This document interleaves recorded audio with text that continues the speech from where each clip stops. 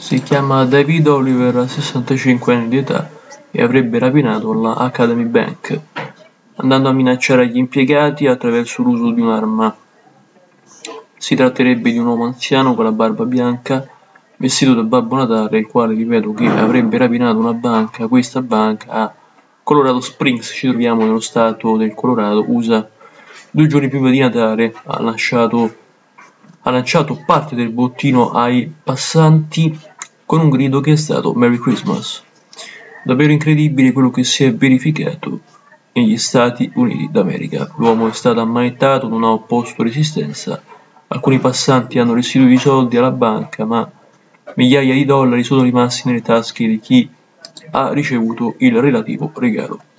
Vi ringrazio in primis per la visione, in secondis per l'ascolto di questo video di oggi.